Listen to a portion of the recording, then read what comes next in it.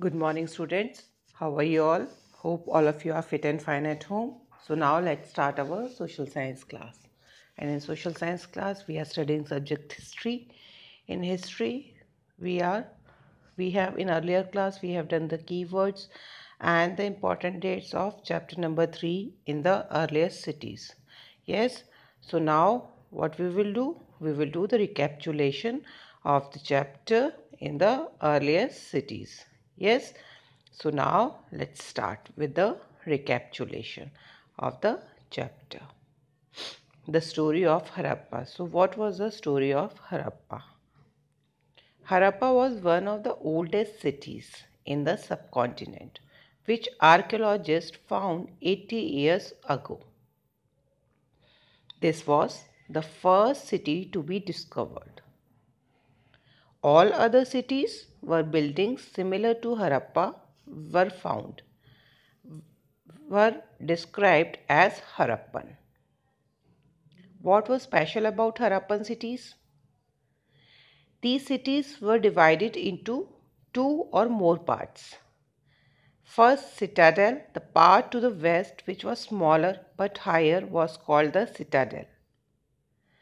Second, lower town, the part to the east was larger but lower, was called the lower town.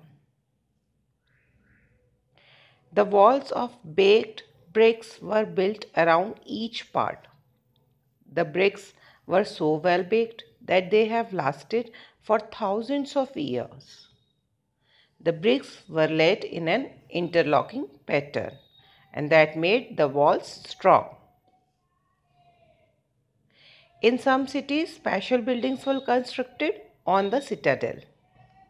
For example, in Mohenjo-daro, a very special tank which archaeologists call the Great Bath was built in this area. Yes, some cities like Mohenjo-daro, Harappa and Lothal had elaborated storehouse. So elaborated means detailed storehouses, big storehouses. Most houses had a separate bathing area and some had wells to supply water. Many cities had covered drains. Each drain had a gentle slope so that water could flow through it. Drains in houses were connected to streets and smaller drains which ultimately led into bigger ones. All three houses, trains, and streets were planned and built in the same time or at the same time. Now, life in the city. What was the life of the people in the city? Harappan cities was a very busy place. So, Harappan city was a very busy place.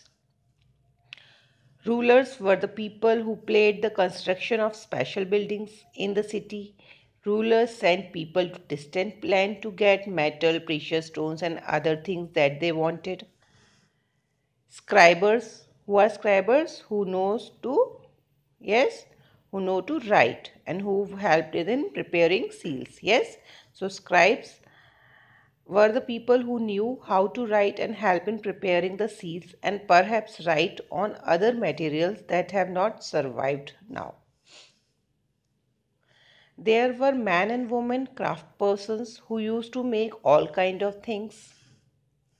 Many terracotta toys have been found in Harappan cities which shows that children must have played with these toys. Now new crafts in the city. Most of the objects that were made and found in Harappan cities were of stone, shell and metal including copper, bronze, gold and silver. Copper and bronze were used to make tools, weapons, ornaments and vessels. Gold and silver were used to make ornaments and vessels. The Harappans made seal out of stone which were rectangular in shape and have an animal carved on them. The Harappans also made pots with beautiful black designs Actual pieces of cloth were found attached to the lid of a silver vase and some copper objects at Mohenjo-daro. Archaeologists have found spindle whorl made of terracotta and faience which were used to spin thread, to make thread. Many of the things that were produced at Harappan were probably the work of specialists who were trained in doing only one kind of work. Yes? Raw materials in, in search of raw materials. So, raw materials are substances that are either found naturally or produced by farmers or herders. Raw materials are processed to produce finished goods. The raw materials that the Harappans used were available locally. So locally they all the raw materials were available in the city. Whereas many items such as copper, tin, gold, silver and precious stones were bought from distant places. The Harappans probably got copper from present day Rajasthan and from Oman in West Asia. Tin, which was mixed with copper to produce bronze, had been bought from present day Afghanistan and Iran. Gold had been bought from present day Karnataka and precious stone from present day Gujarat, Iran and Afghanistan. So all these uh, metals, tin, gold, precious stones were being bought from distant places by these Harappan people. Now the food for people in the cities. What was the food they were eating in the Harappan people were eating? People living in the countryside grew crops and reared animals. The Harappans grew wheat, barley, pulses, peas, rice, sesame, linseeds and mustard. The plough was used to dig the earth for turning the soil and planting seeds. Water was stored and supplied to the fields when the plants were growing. Harappans reared cattle, sheep, goat and buffalo. In the dry summer month, large herd of animals were probably taken to greater distances in search of grass and water. People also collected fruit like ber, caught fish and hunted wild animals like antelope. Antelope are just like deer. Now we will talk about a closer look of Harappan towns in Gujarat. First we will talk of Dholavira. The city of Dholavira was located on Khadir Beyt in the Rann of Kutch. This city was has fresh water and fertile soil. Dholavira was divided into three parts each part was surrounded with massive stone walls with entrances through gateways. There, were, there was a large open area in the settlement where public ceremonies were held in Dholavira. Large letters of Harappan scripts were carved out of white stone and inlaid in wood, which were found by archaeologists in the city of Dholavira. Now we will talk about the city of Lothal.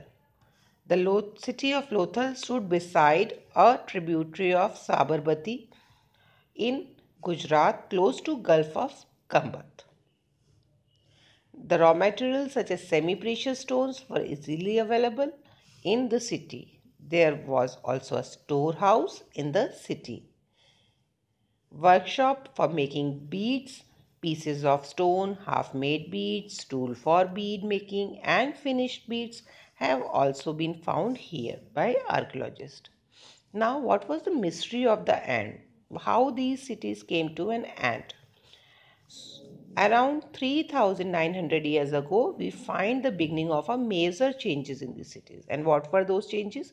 People stopped living in many of the cities. Writing, seals and weights were no longer used raw materials bought from long distances became rare.